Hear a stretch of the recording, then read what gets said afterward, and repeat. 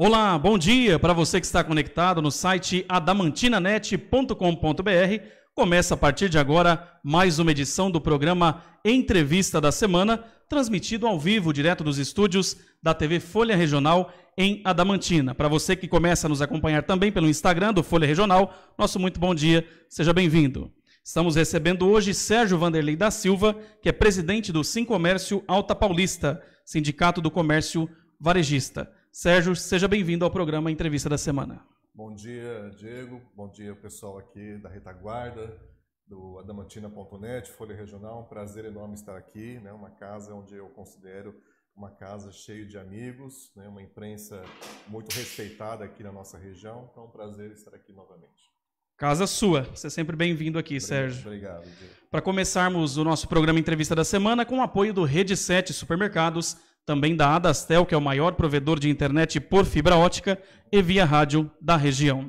Sérgio, como avalia o comércio adamantinense neste período pós-fechamento causado pela pandemia da Covid-19? Diego, né, não só o comércio de Adamantina, mas da região, do estado, do país, a gente entende que o comércio, né, é, comércio, varejista, o setor de serviços, foi um dos mais atingidos pela pandemia.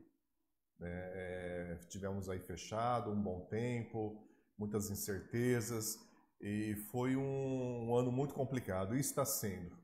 Né? Mesmo agora com a re, reabertura, muitas incertezas, como que vai ser o ano que vem, né? como que vai ser a questão da vacina. Então, essas incertezas trazem ainda muita preocupação para o setor de comércio e serviço. Então, foi, foi está sendo um ano muito difícil, muito complicado. É, alguns setores, obviamente, venderam muito bem, alguns setores foram bem, como construção civil, mas outros setores, a maioria dos setores, a, gente vê que, é, que teve um resultado e apresentam um resultado negativo.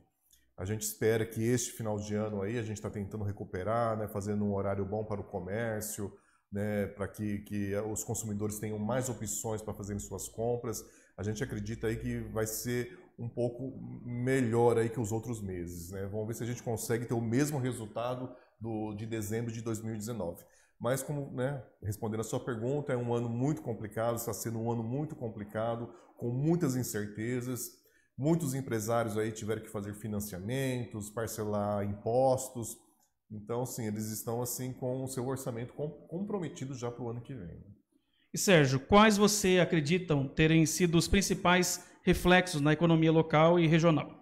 Os reflexos da pandemia, é, em relação a isso, né, muitas empresas com dificuldade, graças a Deus, né, é, em relação ao número de empregos, o comércio demitiu muito, os serviços demitiu muito, mas como a gente tem, é uma região é, propriamente agrícola, né, ela, então o setor de agricultura tem segurado os empregos.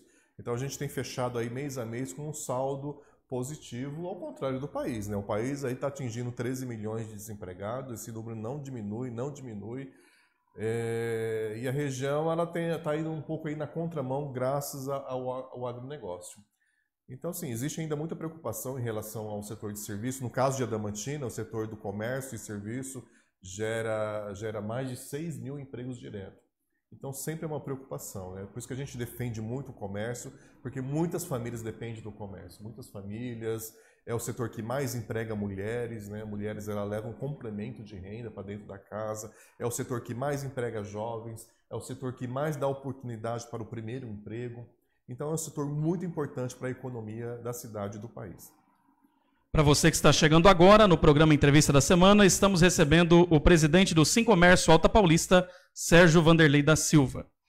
Pode-se afirmar que o comércio adamantinense já se recuperou desses meses em que ficou fechado devido à pandemia? De forma alguma, de forma alguma.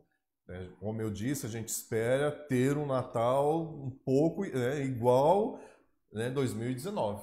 Mas esses meses, né, desde março parado, abril, maio, junho, alguns setores ainda não voltaram, o setor de eventos não, não voltou. Então, é, é, é muito cedo ainda para falar que, que nós recuperou, que nós recuperamos. Né? Então, realmente não, não recuperou, precisa muito ainda para recuperar. E esse muito seria média quanto tempo? Já dá para se prever quanto tempo levará para recuperar-se desse reflexo?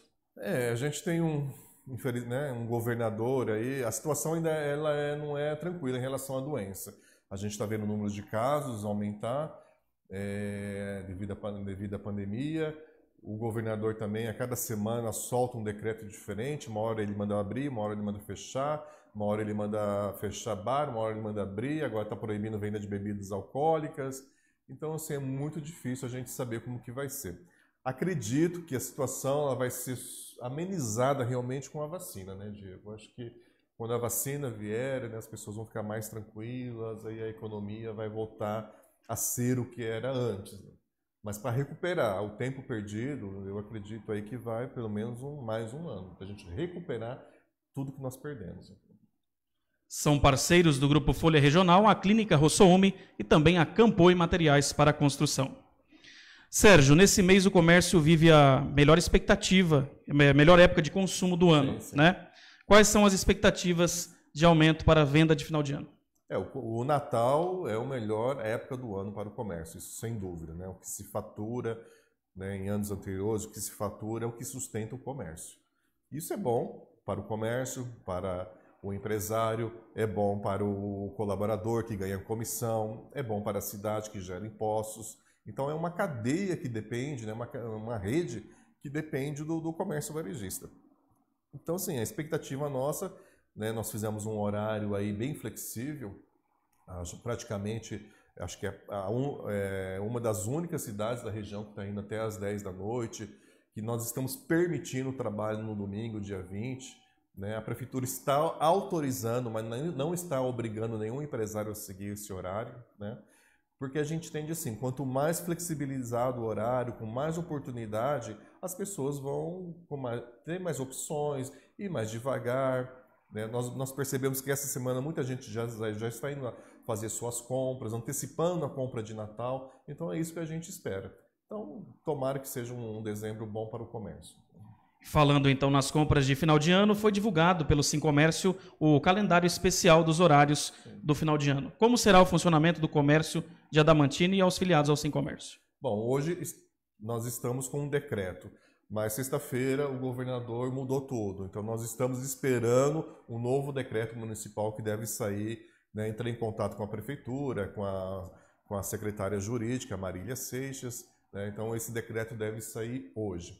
O que está que que tá autorizado? Das 10 às 6 da tarde e das 8 às 10 da noite. Né? Isso aí está dentro das 10 horas que estava per, é, previsto no decreto do governo de, de São Paulo. Agora ele autorizou por 12 horas, né, dentro disso que a gente falou. Né, o governo também está entendendo que quanto mais horário, melhor para o consumidor né, é, ter mais opções.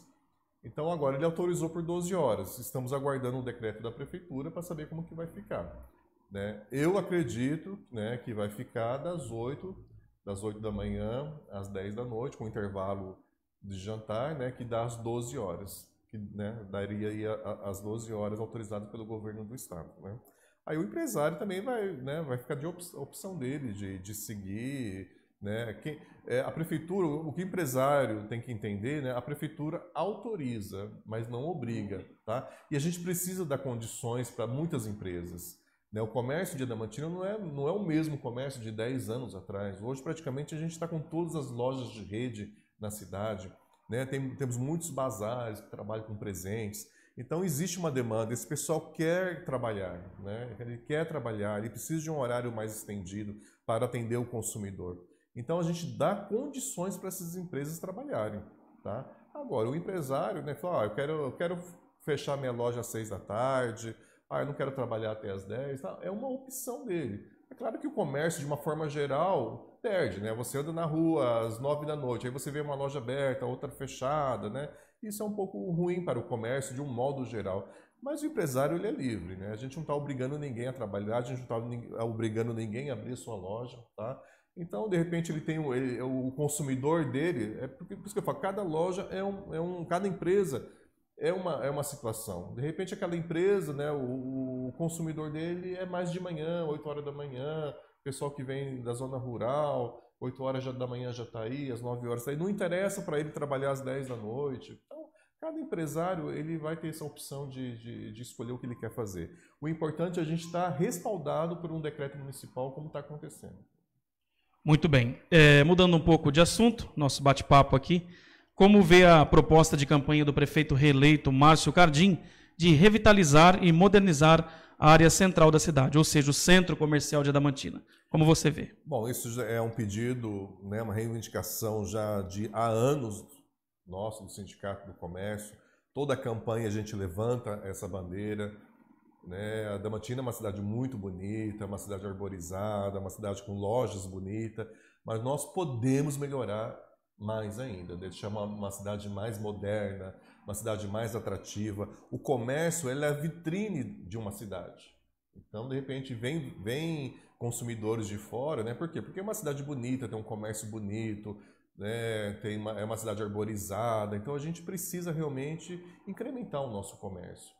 E nós ficamos muito felizes na campanha quando o atual prefeito, em época de campanha, ele prometeu isso. Né? Foi promessa de campanha dele, está no plano de governo dele. Ele assumiu isso por diversas oportunidades na imprensa, falando que a partir de janeiro vai formar uma comissão né, com sindicato, associações, é, arquitetos, né? Porque é se a gente vai mexer no centro, nós não podemos trabalhar com achismo, né? Ah, eu acho que tem que ser assim, eu acho que tem que ser desse jeito. Nós precisamos sentar com profissionais realmente do setor e, e, e fazer uma mudança que seja realmente dentro dos padrões, né? De trânsito, de, de, de arborização, de arquitetura.